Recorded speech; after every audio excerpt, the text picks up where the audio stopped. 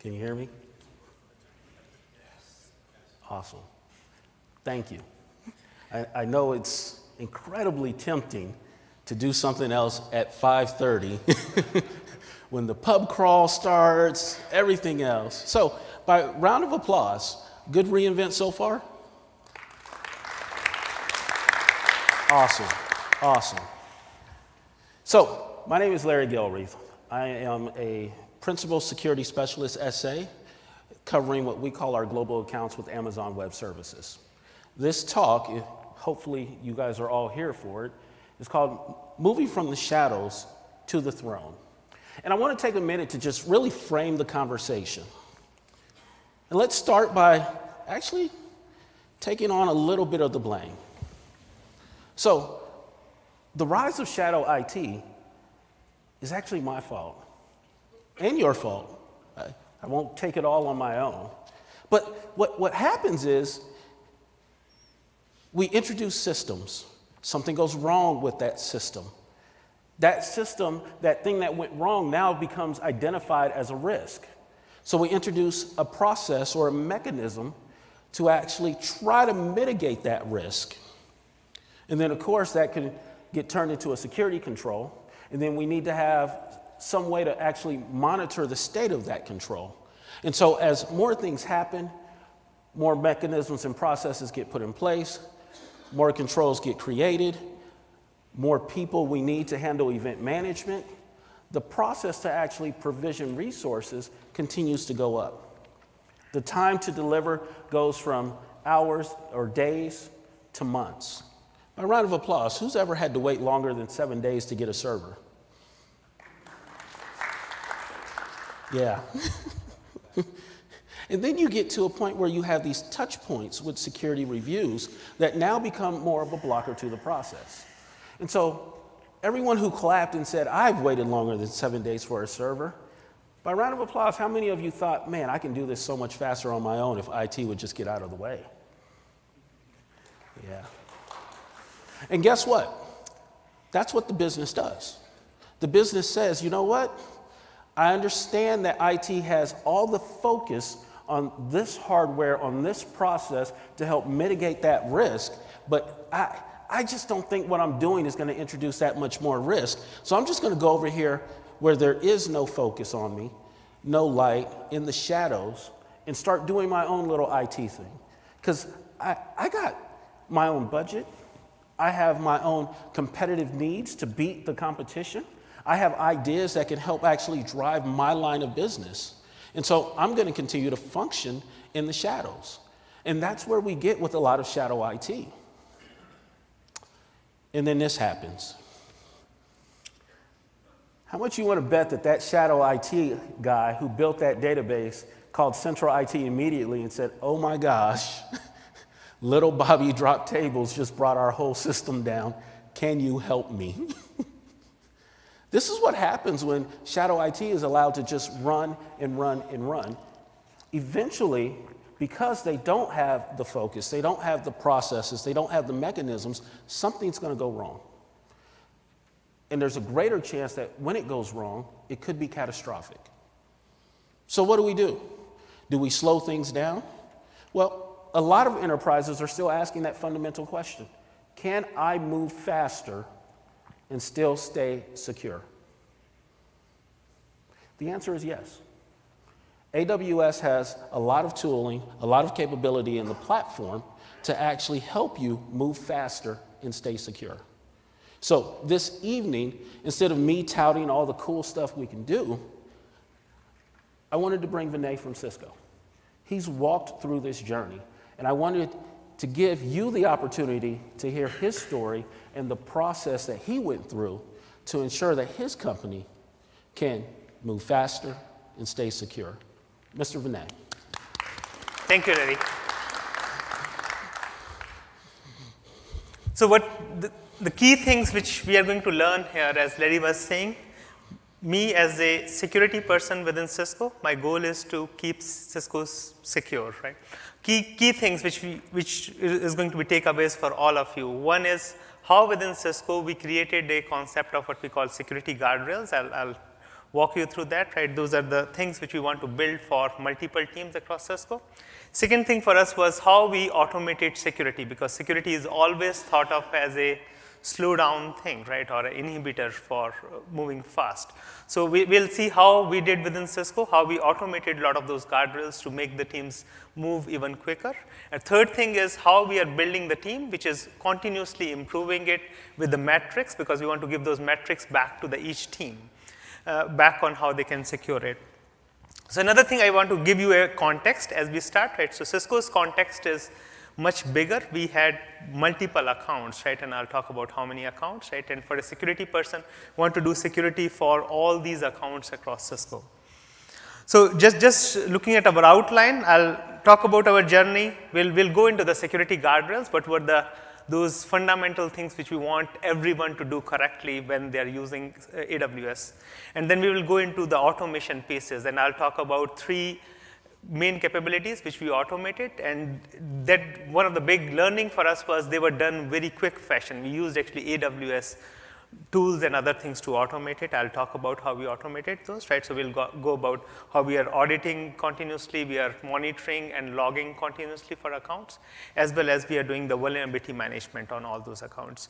And the other thing which, which I, we are going to talk about is how we do the metrics, measurements, and giving it back, and then we'll talk about over this journey, what's our lessons learned.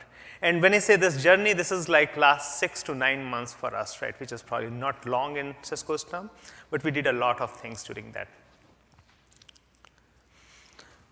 so what, what, exactly, when I say what exactly is Cisco's journey, right, as a, as a person in Cisco's information security team, right, I see this change happening over the last few years where number of engineering teams, we call it business units within Cisco, started moving into their workloads over cloud. Even Cisco's IT was seeing some opportunities, both as part of innovating themselves as well as the tools they were bringing in, they were already hosted in the cloud.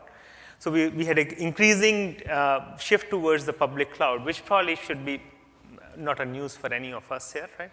Uh, another thing which we saw is Cisco acquires a lot of companies. When we acquire a company, it's already have a big footprint in the cloud, right? So we need to tackle the cloud problem.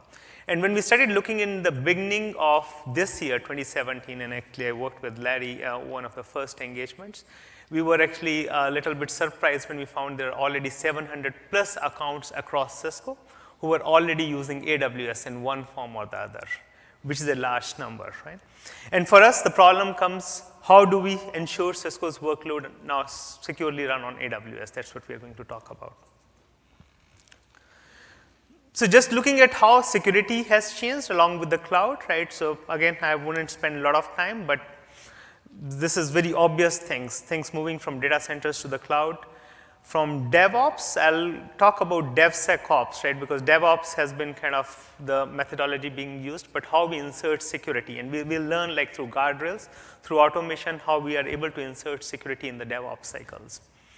And you change from your security, which is a document, to you build, as a security team, we started building security as a code, right? We give you modules, just insert them, they will do security for you. It's not those requirements, 50, 60 requirements each team needs to be uh, doing. And then from manual reviews to the doing it automated reviews, we'll, we'll, we'll see that how we are running this automated checks that runs every night on 350 plus accounts right, of Cisco and brings us data. And then we, we need our uh, security to be continuous real time because the reality is teams are using DevOps. They are doing multiple releases every day, every week.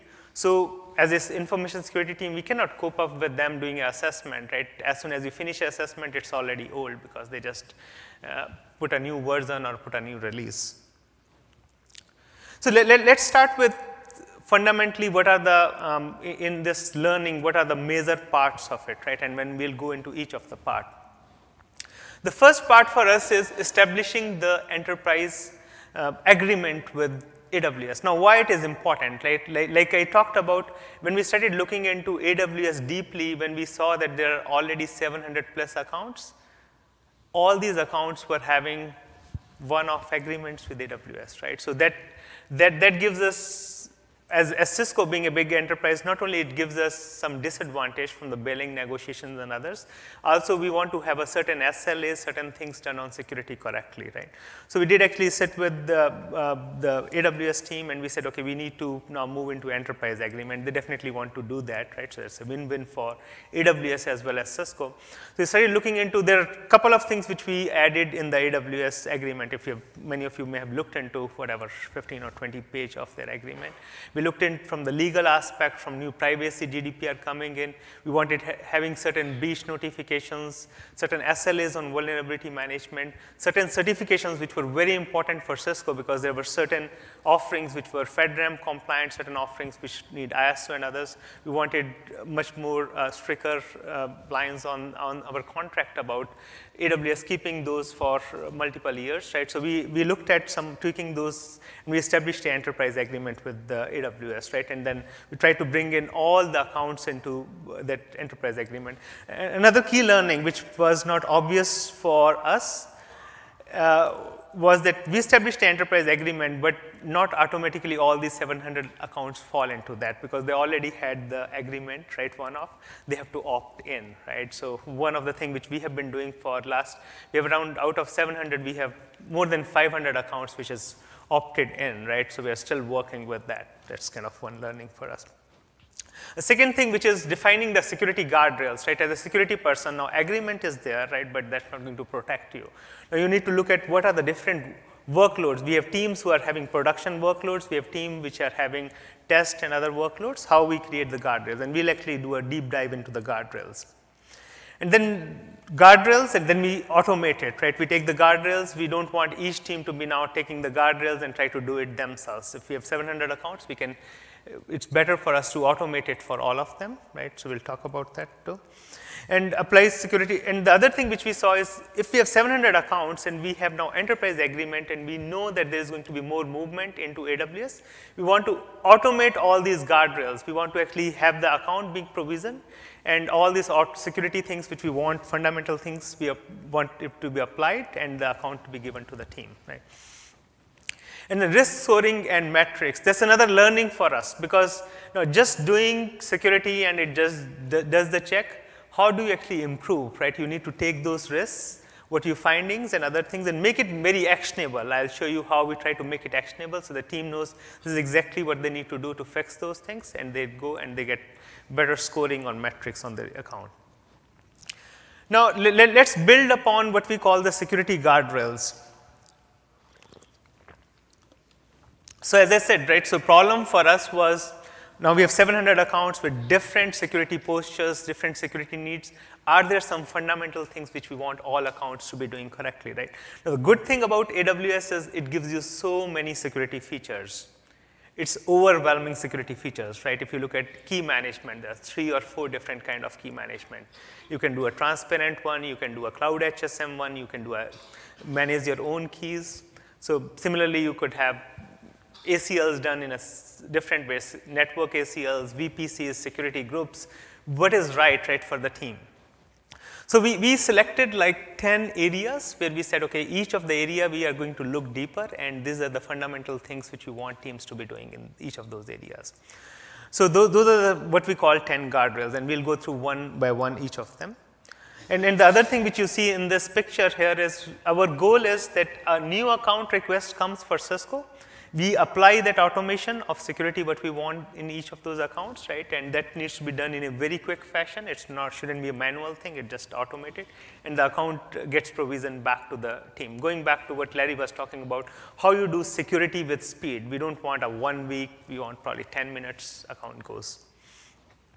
The first thing, right, what's the first thing which we from a security professional, and many of you probably are, right, what's the first thing you want to do correctly is always identity, right? I always believe first thing is identity, right? If you look at attacks and other things, that's what, if identity is not right, then everything is all meaningless, right? So we wanted to look at the identity postures which AWS gives, especially the identity and access management, the key management uh, of your API keys. We looked into all those aspects, right? And we said, okay, there is certain rules for privileged users, certain accounts which are going to be production accounts, which needs to be have MFA enabled.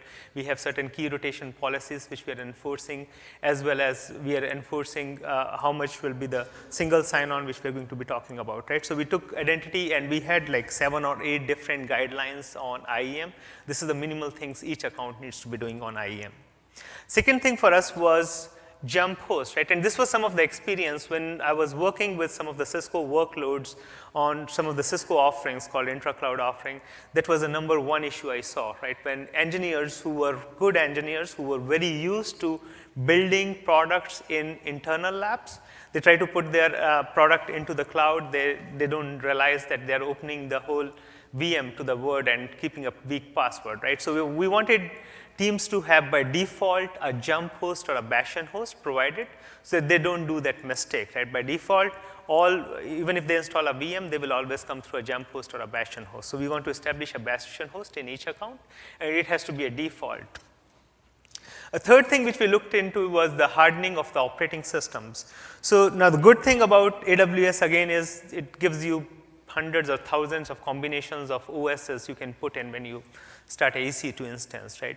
But that's probably from security, that's too much, right? And within Cisco, we already have established hardening guidelines, hardening, hardened VMs. We wanted to take those hardening things and apply to this, right? So we wanted to provide those hardened images to the account. And one of the um, one of the uh, benchmark we use within Cisco, and I'm not sure if you're able to read it, CIS, right? So that's the industry benchmark. Wanted to establish that, that each workload you're running, you need to be using a hardened image. So we, will be taking the questions at the end, right? So I'm planning to finish 15 minutes earlier, so if you have questions, just hold on, okay? Um, the fourth thing for us, obviously Cisco being a networking company, we wanted the network to be done correctly, right? We want to have a correct VPCs, ACLs, and other things. So we wanted to put some guidance on what to be done there and what are the correct things there. Now the next one, right, vulnerability management. If you look at like how today things get compromised or breached, right?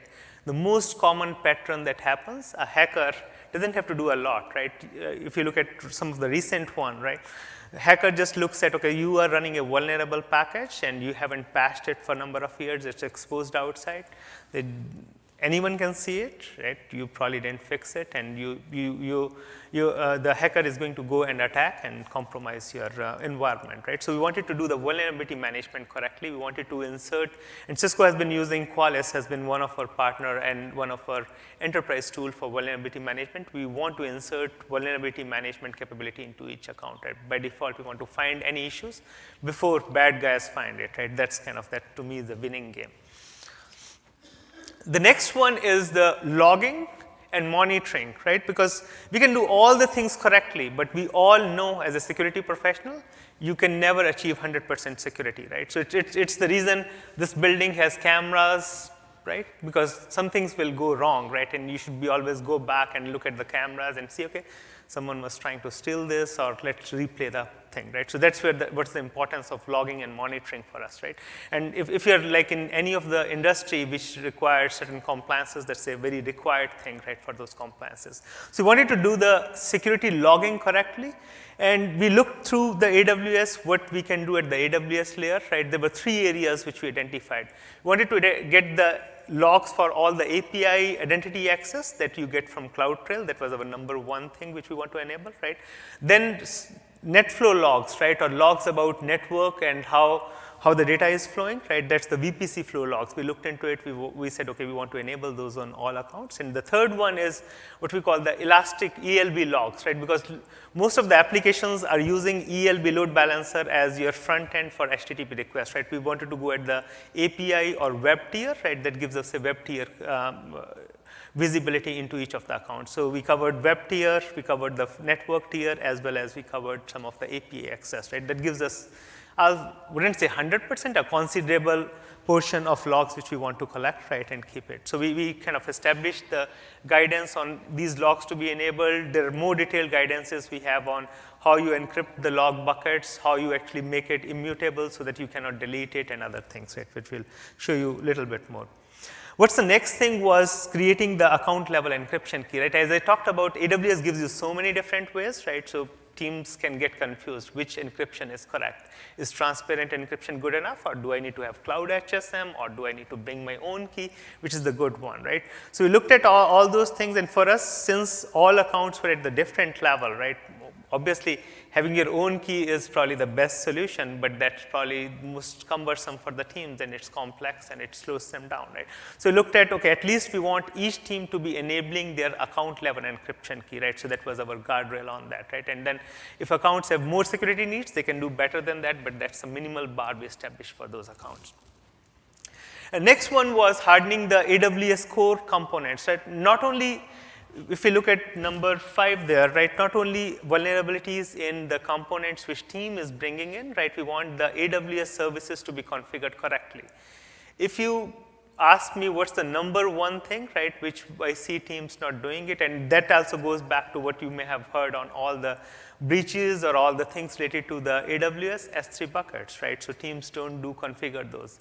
I wouldn't call this AWS fault because S3 buckets have so many different combinations of uh, configurations, right? And teams may not know what's the right configurations, right? So we, we established, we look at what are the most common AWS components teams will be using, ELB, S3 buckets, right? DynamoDB, RDS, and others. So we established the configurations and what are the right security configurations which we want each team to be doing. And the next one was Trusted Security uh, Advisor, right? So Trusted Advisor is one of the service hopefully everyone knows, right? So you get a free one when you get an account, right? But that has only three to five checks. And when we looked at the Trusted Advisor, it has around 20 checks, right, the enterprise version. And we did actually negotiate as part of the enterprise agreement with Cisco, being an enterprise customer to enable enterprise level trusted advisor for all the accounts, right? Because it, it is giving me automated 15, 20 checks for free, right? So I wanted to take leverage of that. Other thing which you will see is the enterprise version uh, of the trusted advisor not only gives you multiple checks, that also gives you automation abilities, right? So API access is available not with the basic one, with the enterprise one, right? So we figured that out during our earlier establishment and we made it kind of everyone gets the enterprise tr uh, trusted advisor with all the 20 or so checks. The next one for us was uh, uh, the tagging, right? So another interesting thing, right, which we learned is the attribution, right? If you're a security professional, you probably know what's the attribution problem, right? I'll just uh, give, give you one example, right? So one of the biggest issues is if we have 700 accounts and thousands of VMs, let's say one VM is not configured or is compromised, how I quickly go and attribute, okay, this is Vinay's VMI, he needs to actually go and do something about it, right? So we should be able to quickly figure it out who owns it. And what's the purpose of this VM? Maybe there's a, there's a S3 bucket which is sitting out, sitting uh, with, with the insecure permissions, where it just has a test data or public data that may be okay, right? Versus the S3 bucket sitting with Cisco confidential. So we wanted to use those tags, right, for data level uh, tagging for confidentiality level so that we can find out. We also want to use those tags to figure it out how I reach to a Cisco person quickly, right? So we leverage that tagging to do the attribution.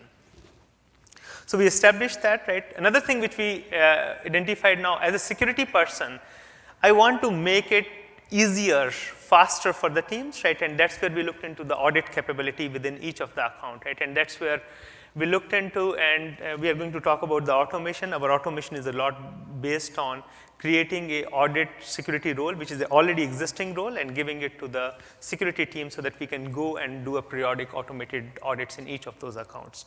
So these were our 10 guardrails, right, which we created, but they're still at the level of these are the guidelines. Each team needs to be doing it, right? So we'll talk about how we automate those. The other thing along with that which becomes important for us is now this is Cisco being a big enterprise and many of you part of bigger enterprise, how we connect it with our rest of the enterprise, right? So we can't just leave each account alone in its own silo, right? So we looked, we, we talked about the identity. So we looked at, okay, how we, we integrate our identity back with Cisco's own identity because as an employee of Cisco, right, we have identity, Active Directory, and others, right? So we integrated single sign-on for all those right?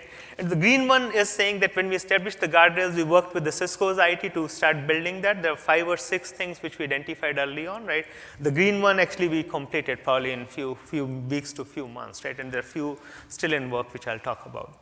Second one which we looked at is the security logs, right? And that's again where we wanted to take those logs. Now, good thing is each of the account is keeping those logs, but just keeping those logs who is actually doing the active monitoring and who knows what's going on there, right? So we wanted to take a feed from the log and give it to our incident response team and figure it out how they can figure, uh, they can identify any breaches, any bad things happening on these accounts, right? And the next one is the vulnerability uh, results. This is our audit and automated things, right, which we want to run every night and go back and check.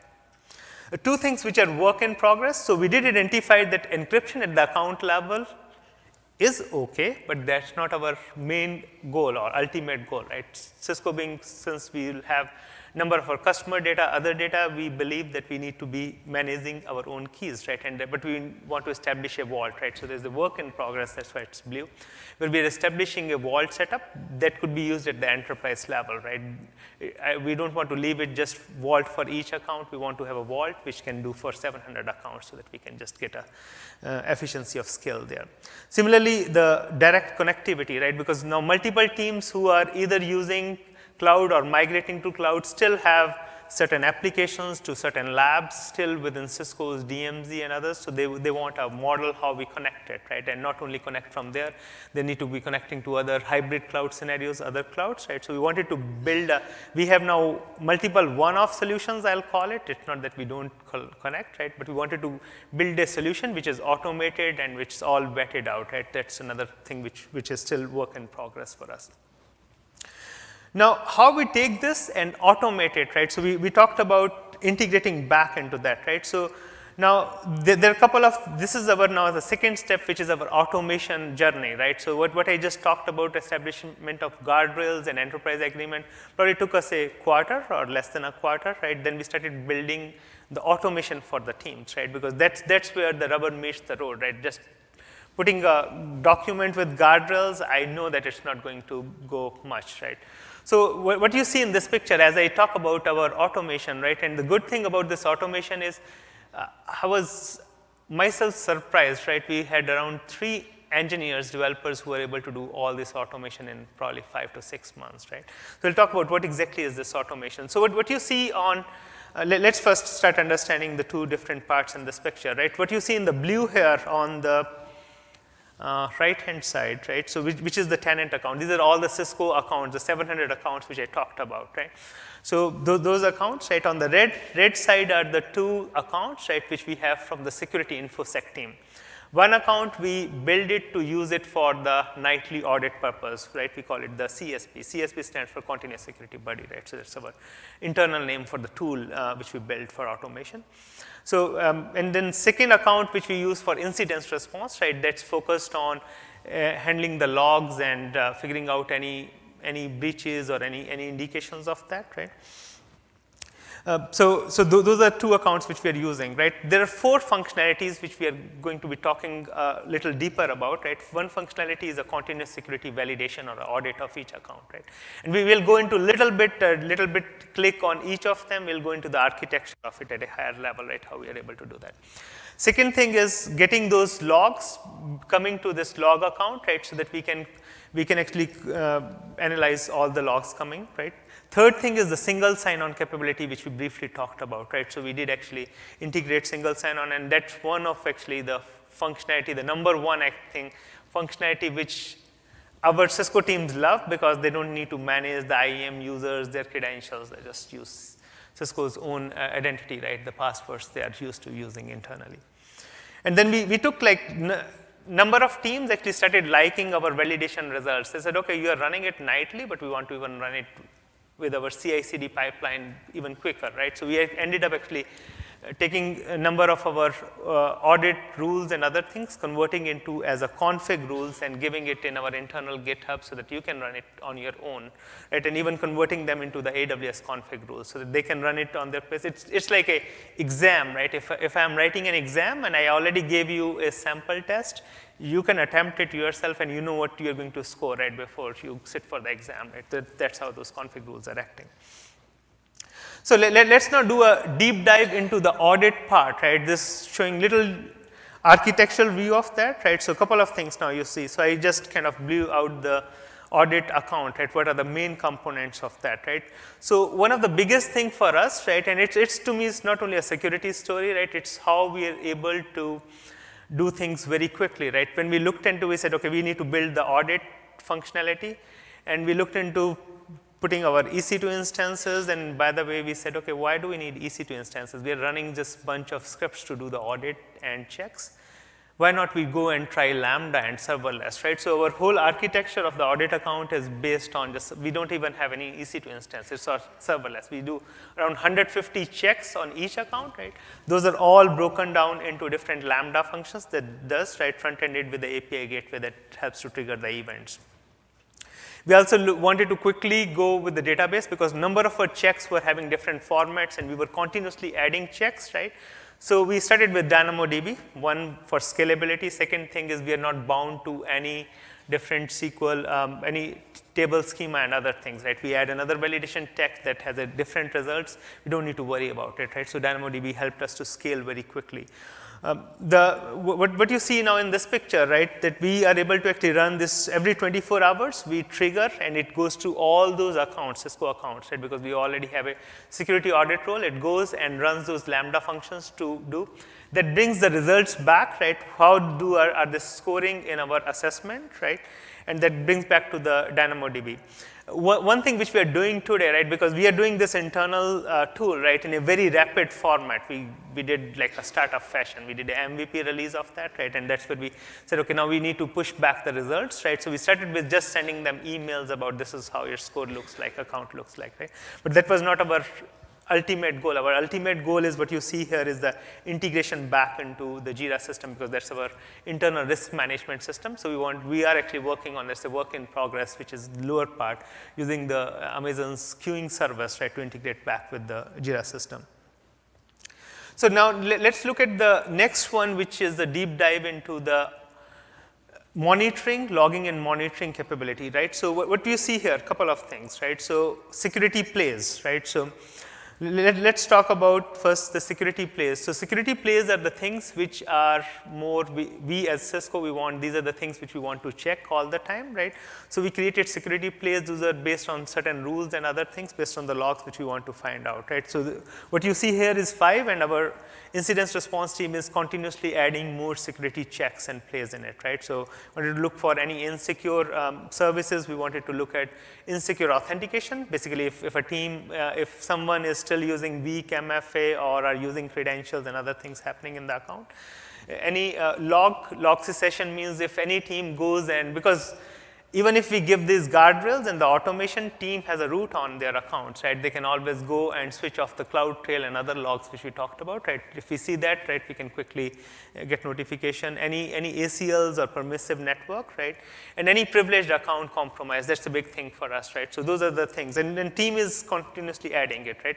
Now let's look at the architecture of this system, right. It's a very simple one because we just built it in few months, right.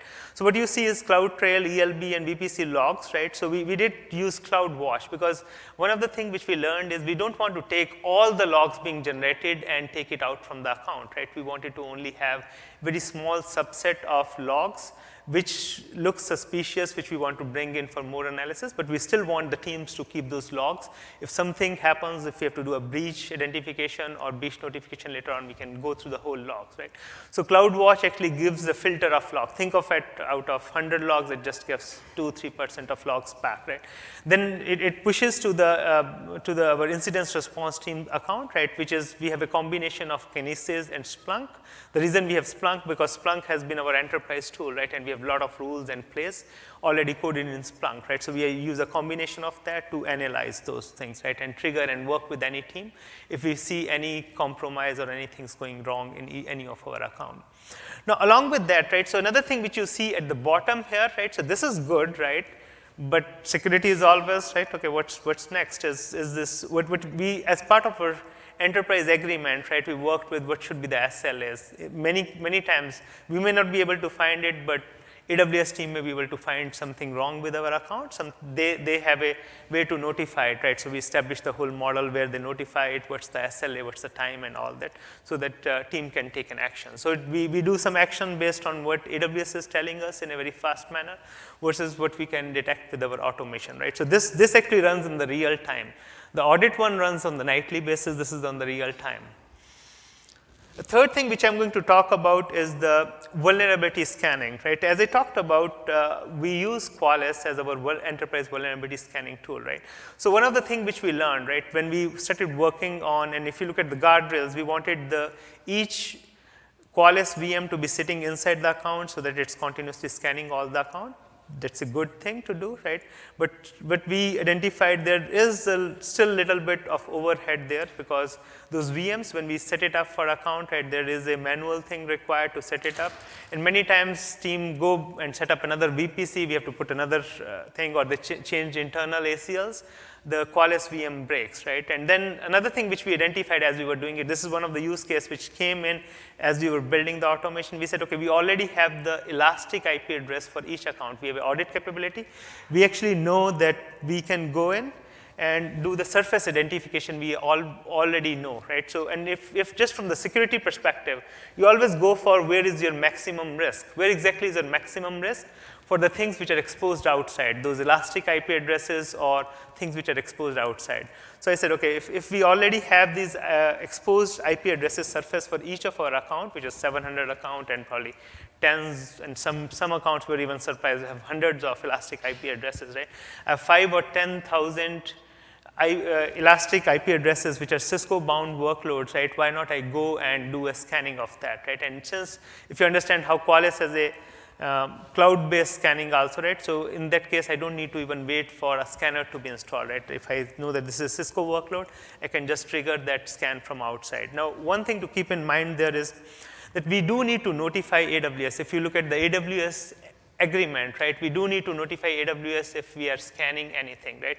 So we worked with AWS, okay, we just thought AWS would have API for us to notify it. And that's one of the things AWS said, okay, this is the first team which is asking us an API for notification. You have a form we worked out as part of our, again, enterprise agreement that, okay, we are going to be telling you about all our accounts and they are going to tell, give us a validation for next 90 days to go and you are allowed to scan your accounts, right, till they are still building on the APIs for us to notify it, right.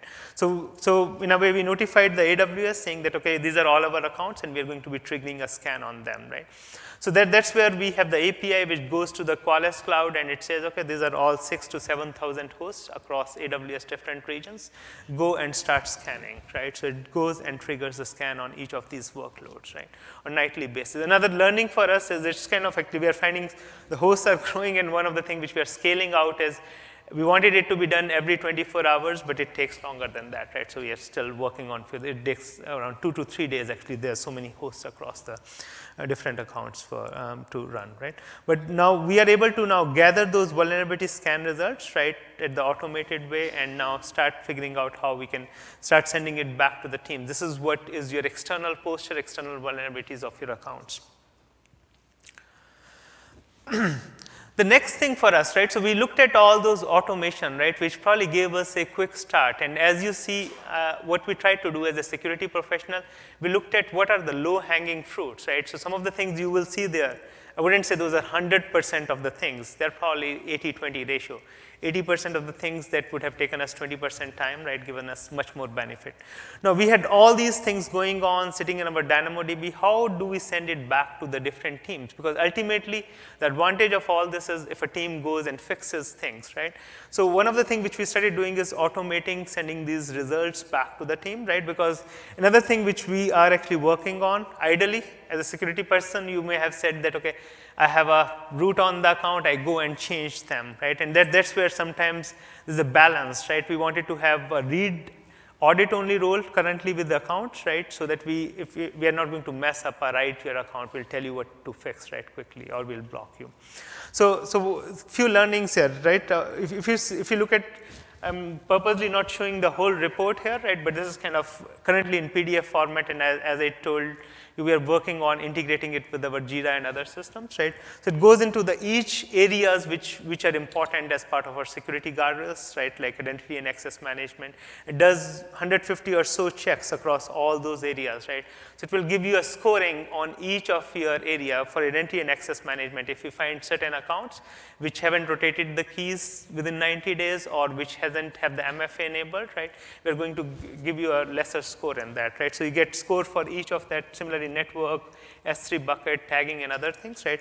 One of the things which we learned is, okay, we have a big report. We started giving uh, grading, right? So grading was another idea, just an idea that came, okay, why not we give a grade to the teams? That actually changed the dynamics with us working, right? When a team gets a score, okay, why did I get a C on my AWS account, right? And okay, how can I move it to A, right? And they, we, we, we have the data for all the accounts. We have what we want them to be done correctly, so we can correlate and say, okay, across your 700 or so account, this is where your security posture stands for, right? And that, that gives us a lot of leverage as a security team to drive certain things.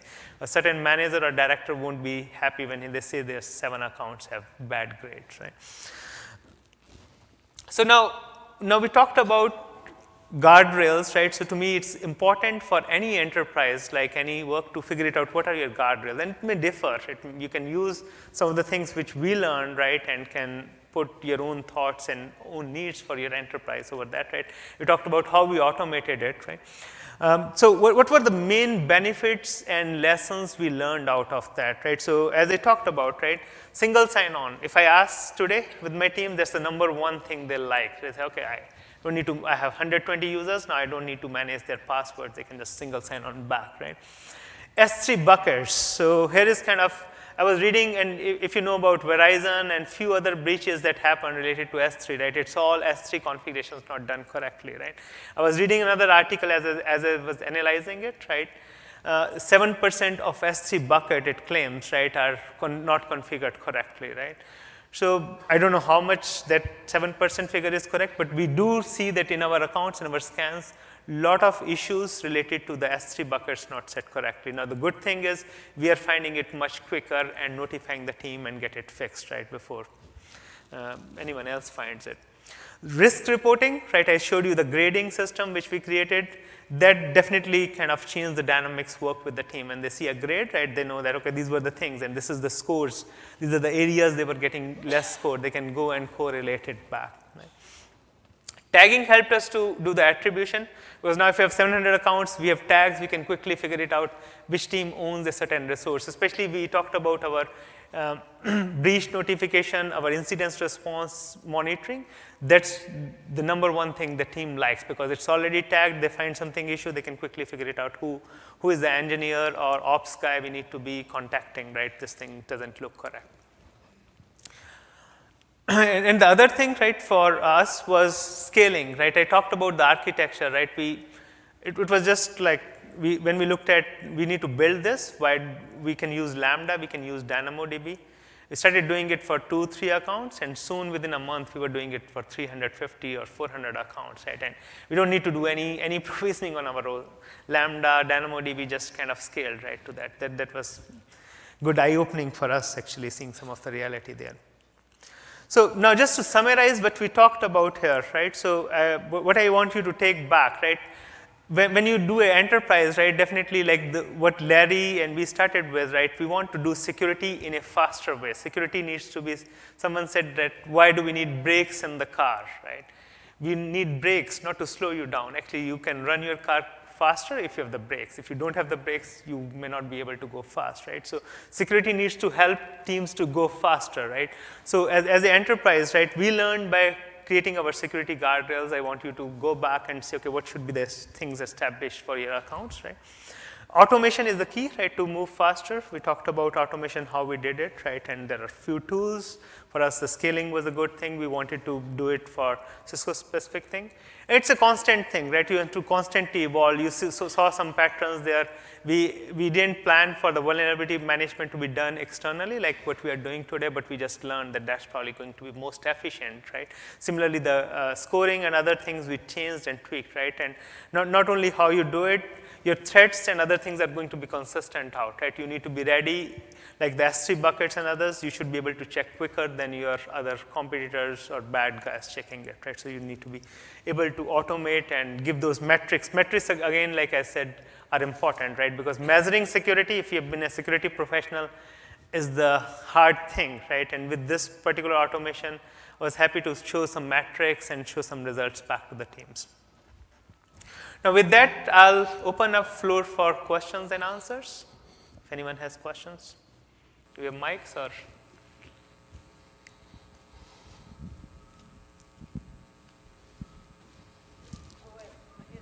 Yep. You do?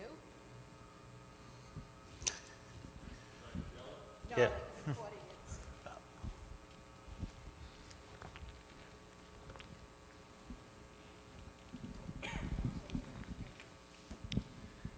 Hey, uh, I, I, was just wondering about uh, tagging, uh, and if you in, if you had uh, encountered any challenges with that across so many accounts to kind of keep towards um, a tagging standard, uh, and whether or not that slows any of the uh, efforts and stuff going on because the more tags you have, um, you, you, know, kind of it, it, it slows down any creation of resources because there's okay. there, there, there's more fields to yeah. So, so the question is tagging, right? Did we face challenges with tagging? Yeah, we faced challenges with everything. Tagging was one of the things. So, uh, so one thing, right? Tagging slows down. I don't believe that, right? Some teams say that, but that's according to AWS documentation. Tagging should not be slowing down anything, right? So one of the things which we said because we had number of tags, we had uh, four to five different tag fields, which we want each team to be adding to S3 buckets. We actually mandated it for all S3 bucket and EC2 instances. You should be doing it for other resources, but those are mandatory, right? So we, we said that one, one of the things which we learned for the accounts which were already established, we didn't had any tags, right? They said, okay, I have 400 resources, how will I tag and slow it down? We actually do, did build some scripts for them. We said, okay, I have a script that will actually cause a default tag for all of them. Here's the Excel spreadsheet or CSV file just kind of because most of them will have same fields. For example, it's Cisco public information or Cisco confidential. They can just tweak it and, and rerun the script that just tags them, right? So, so first, just, just to kind of summarize my answer, I don't think tagging slows you down. We did find some teams being challenged. I have so many resources already. I've never been tagging it. How do I go and tag it? We gave, we built a scripts for helping them tagging it. To me, uh, the team started building that whole tagging thing in their CloudFormation or Terraform templates itself, right? That's where teams are moving, right, uh, towards tagging. Good question. Any more questions?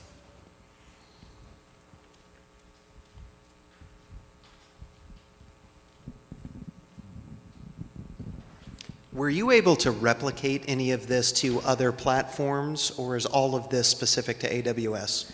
Currently, it's specific to AWS, right? But we did get a request, right, from obviously there there's few teams who have multi hybrid cloud or multi-cloud strategies, right, who are working across multiple cloud providers. So we do have an internal request to do that, right?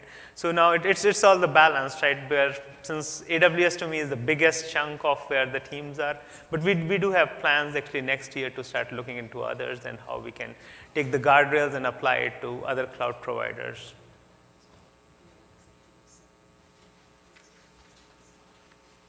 Any more questions? If not, Thanks a lot and if you have questions we can stay here for a few minutes I think.